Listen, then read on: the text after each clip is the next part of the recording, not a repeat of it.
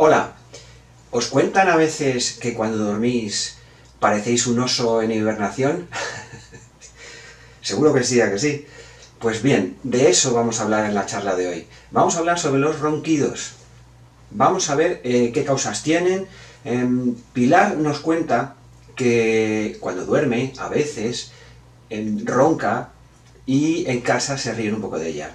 Entonces quiere evitar estos ronquidos, quiere ver ¿qué puede hacer? Pues bien, Pilar, tú y vosotros, eh, quedaros a ver el vídeo porque vamos a ver las causas de estos ronquidos. Y vamos a ver qué se puede hacer, porque se pueden hacer muchas cosas. Vamos a ver eh, que hay ronquidos que tienen poca importancia y vamos a ver también que hay casos graves. Lo vamos a ver todo, quedaros hasta el final del vídeo porque va a ser muy útil y va a ser divertido. Soy Ángel Elipe, tu salud me importa y empezamos. Bien, lo primero que vamos a ver es por qué ocurren estos ronquidos. Porque todos alguna vez en la vida hemos, hemos roncado. Pero la mayoría de las veces no tienen importancia. Pero bueno, eso lo, lo veremos después. Vamos a ver por qué ocurren esos ronquidos. Evidentemente, cuando dormimos, toda la musculatura se relaja toda la musculatura del cuerpo, incluso en la zona de la garganta, en toda esta zona también se relaja la musculatura. Se relaja esta musculatura de todas las vías por donde tiene que pasar el aire. Entonces el ronquido lo que es, es eh, está provocado por una obstrucción del aire al pasar por estas vías. Como la musculatura se ha relajado, estas vías se estrechan y al estrecharse se produce este ruido que es este ronquido, que es, no es simplemente nada más que una dificultad por el paso del aire. Dependiendo de que esta dificultad sea mayor o menor, el ronquido será más fuerte o menos fuerte, más grave o menos grave. ¿Ok? ¿Cuáles son estas zonas, estos espacios? Pues puede ser, por ejemplo, la lengua, dependiendo de la posición en la que durmamos, eh, si dormimos boca arriba, pues la lengua tiende a caer un poquito hacia atrás. Y entonces provoca una cierta obstrucción. El velo del paladar, en la zona de la úvula, también tiende a caer. Y entonces obstruye un poco eh, las vías. Entonces es un conjunto de, de obstrucciones que a veces no tienen mucha importancia, pero otras veces sí que la pueden tener incluso también en casos de vegetaciones o en casos de amigdalitis que suelen ser en niños. Pues bien, en esos casos habría que tratar estos problemas para evitar estos, estos ronquidos. Bien, ahora vamos a enumerar las causas y después veremos qué posibles tratamientos eh, podemos hacer. Todas estas causas se agravan mucho con la edad. ¿Eh? Pero bueno, vamos a ver eh, paso a paso algunas de las causas. Una de las causas que pueden provocar estos ronquidos es una cierta debilidad en la zona de, la garganta. Esta debilidad hace que esta relajación muscular que ocurre cuando durmamos obstruya más estas vías.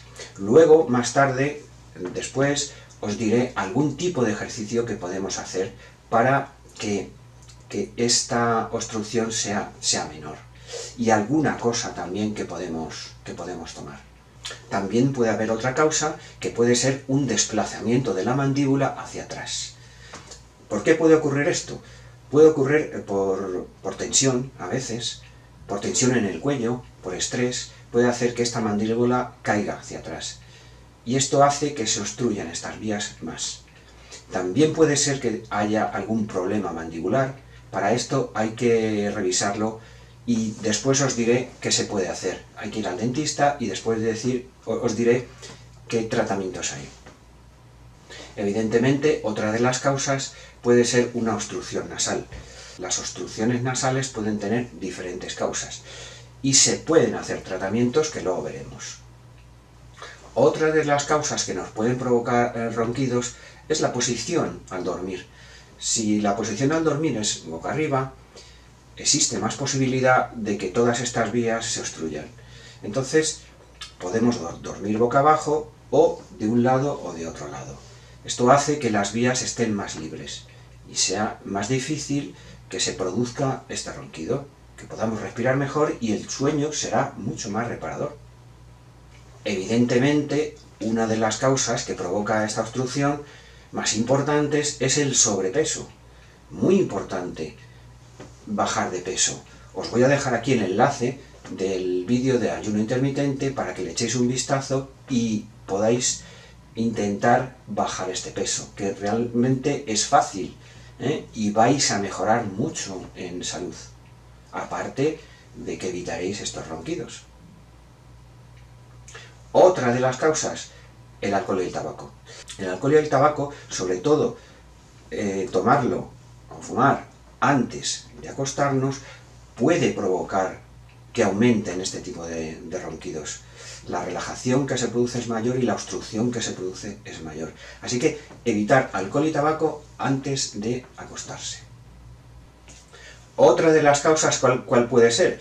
Pues que son una de las causas más graves, es la apnea del sueño. La apnea del sueño no es más que una dificultad al respirar cuando dormimos. Se produce tal relajación que las vías se obstruyen tanto que se producen pausas de respiración. ¿eh? estas pausas suelen ocurrir cada más o menos 10 segundos, pero hay veces que son más prolongadas. En estos casos lo que hay que hacer son tratamientos eh, médicos. Hay que revisar ese sueño y hay que ver esas pausas. Si tenéis algún familiar que sufre de apnea del sueño o sospecháis que sufre de apnea del sueño, lo que tenéis que hacer es ver esas pausas entre respiraciones. Respira, hace un ronquido y se corta la respiración durante unos segundos. Hay que ver esos segundos, hay que ver si son muy prolongados. Después de esos 10 segundos, más o menos, se produce un ronquido fuerte porque se recupera esa respiración. Bien, en estos casos lo que hay que hacer es tratarlo. Eh, se trata con un aparato que se llama CEPAP, y este aparato lo que hace es meter aire a presión para abrir esas vías. Hay veces que no hay más remedio que utilizar estos sistemas. Pero bueno, en este caso lo que hay que hacer, si sospecháis de algún caso de estos, ¿eh? o habéis, habéis, medido estas pausas, ir al médico para que lo revise y, os, y se ponga esa persona en tratamiento. Evidentemente, otra de las causas que ocurre, y ocurre más en niños, puede ser por una amigdalitis, estén demasiado grandes las amígdalas y provoquen esa obstrucción. Y también por la inflamación en, adenoides, las famosas vegetaciones. En estos casos, evidentemente, hay que tratar estas enfermedades para que se solucione el problema. Bien, ahora vamos a ver eh, qué tratamientos se pueden hacer, qué cosas se pueden hacer para intentar evitar estos ronquidos, que es lo que nos interesa. Evidentemente, en el caso de las amigdalitis, y las vegetaciones, hay que tratar estos problemas, hay veces que no hay más remedio que operar, pero se tratan estos problemas y se solucionan. Estas causas suelen ser más en niños. La primera causa que dijimos es una relajación en, la garganta, una obstrucción en la garganta. ¿Qué podemos, ¿Qué podemos hacer en estos casos? También una vibración en el velo del paladar. Para la vibración del velo del paladar, lo que podemos hacer existen en el mercado una serie de sprays que lo que hace es, al, darnos el spray, lo que hace es, evitar esa vibración del paladar. En ciertos casos puede ser muy útil, pero en este caso que hemos dicho de, de este problema en la garganta, esta obstrucción en la garganta, lo que podemos hacer es algún tipo de ejercicio para abrir más esas vías. Os voy a enseñar ahora un, ejercicio que puede ser muy útil para abrir esas vías. Lo podéis practicar eh, varias veces al día y conseguiréis, abrir esas vías. Bien, ponemos una mano detrás en la nuca, ¿eh? para no forzar, al hacer ejercicio, no forzar demasiado, ¿vale? Y la otra mano en la frente, ¿vale? Entonces, empujamos con esta mano hacia atrás la cabeza y Vamos abriendo la boca.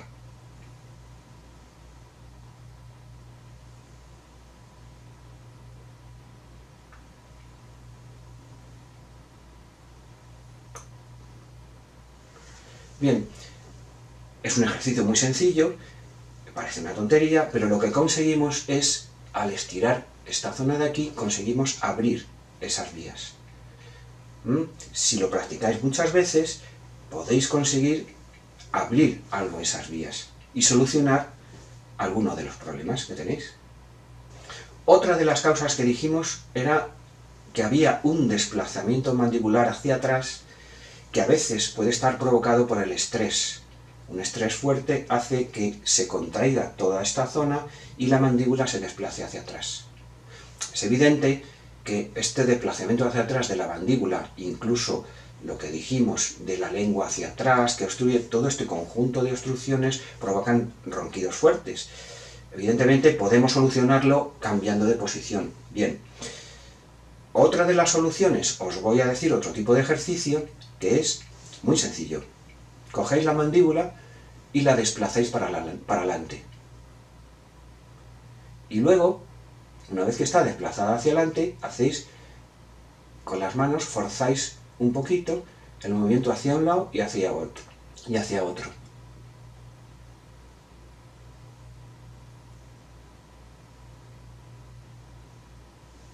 Bien, la mandíbula desplazada hacia adelante y movéis la mandíbula para un lado y para otro. Si existe un problema, si existe un problema de contracción muscular que hace que la mandíbula se eche atrás y está provocado muchas veces por estrés, este, este movimiento os costará mucho.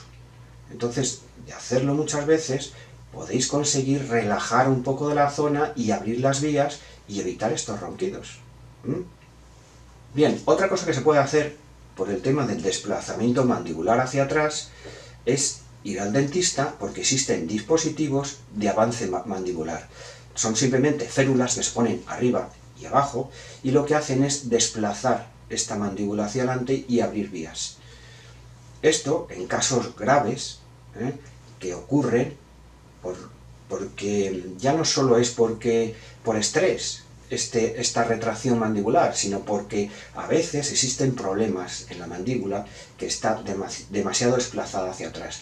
En estos casos, este tipo de células, este tipo de tratamientos pueden ser muy útiles ¿eh? para abrir todas estas vías. Entonces, en este caso, habría que visitar al dentista. Bien, otra de las causas que dijimos es una obstrucción nasal. ¿Qué se puede hacer?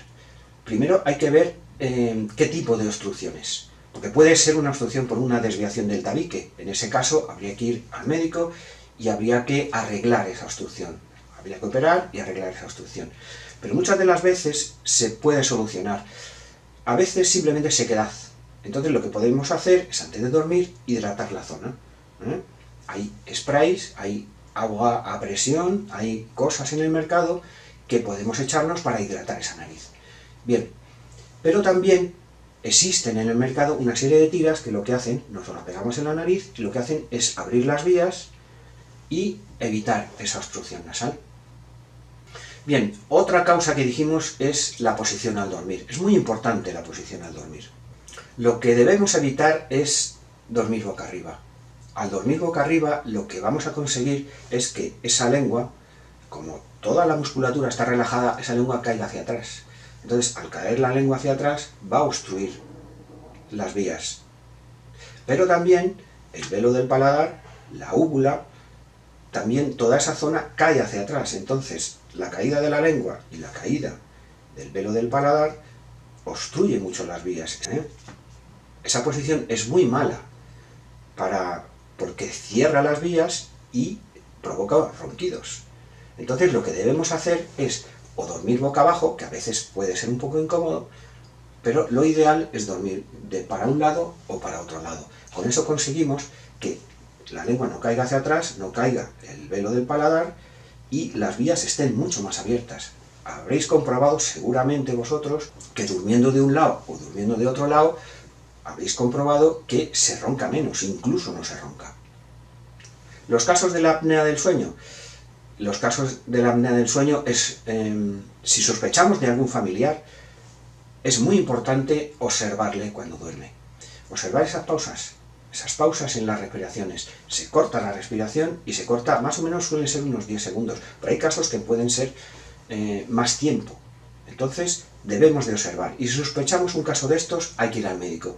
Entonces, hay veces que no hay más remedio que ponerle un aparato que se llama CPAP que no es más que una mascarilla, un aparato con una mascarilla, que lo que hace es introducir aire a presión. Esto consigue abrir las vías y evitar estas pausas, estas pausas en las respiraciones que a veces podrían ser peligrosas. ¿Mm? Evidentemente, otra de las causas es el sobrepeso. El sobrepeso es malo para la salud, lo sabemos y debemos mantener nuestro peso en unos márgenes ideales. Bien, pero para estos casos, el sobrepeso y sobre todo si estamos durmiendo boca arriba, lo que hace es obstruir las vías mucho. De hecho, la mayoría de los casos de, apnea del sueño son de personas con sobrepeso. Así que lo que hay que hacer es todo lo posible para bajar ese peso. Evidentemente, otra de las causas es el alcohol y el tabaco. Evitar totalmente tomar alcohol y tabaco antes de acostarnos. Esto va a hacer que toda esta musculatura se vaya a relajar más y va a hacer que haya más obstrucciones y respiremos peor. Y de hecho el, sueño con ronquidos fuertes y, obstrucciones fuertes, el sueño no es reparador, nos levantamos muy cansados. Bien, ¿qué más podemos hacer en todos estos casos? Ya hemos visto que se pueden hacer muchas cosas. ¿Qué más podemos hacer? Si tenemos una dieta equilibrada, vamos a conseguir, vamos a conseguir evitar ese sobrepeso y vamos a conseguir evitar muchas de las causas que provocan ese ronquido. Así que, súper importante, dieta equilibrada. También es muy importante eh, las pastillas que tomamos, los inductores del sueño ciertos inductores del sueño, y estoy hablando de fármacos y también estoy hablando de, sustancias naturales. No debemos tomar todas estas cosas, todas estas sustancias por nuestra cuenta. Deberíamos consultar, consultar al médico, consultar al farmacéutico. Pero estoy hablando también incluso de sustancias naturales. Ciertas cosas, ciertos inductores del sueño nos pueden provocar ronquidos, pueden provocar que se relaje mucho la zona y haya más, obstrucciones de vías. Hay veces que podemos usarlos, pero hay veces que exageramos en la dosis. Aumentamos mucho la dosis y provocamos estos problemas. Así que nunca tomarlo por vuestra cuenta, siempre consultar. Si tenéis alguna duda, a mí me podéis consultar, me lo ponéis en comentarios y yo contestaré a todo el mundo. Bien, ¿qué conclusiones sacamos de todo esto? La conclusión que sacamos de todo esto es que los ronquidos se provocan por obstrucción de las vías, porque toda la musculatura se relaja. Em, pueden ser por muchas causas, ya las hemos visto, puede ser nasal, puede ser del paladar, hay mil causas. Y hay que tratar cada causa por separado. Pero además podemos hacer muchas cosas. Podemos bajar nuestro peso y esto, eso va a hacer que ronquemos menos porque las vías van a estar menos obstruidas.